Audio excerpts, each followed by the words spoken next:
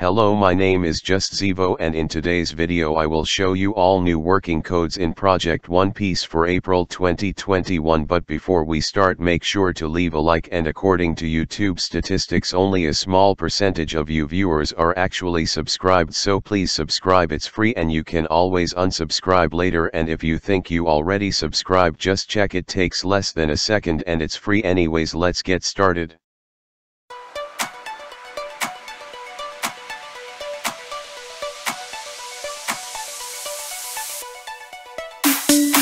Thank you.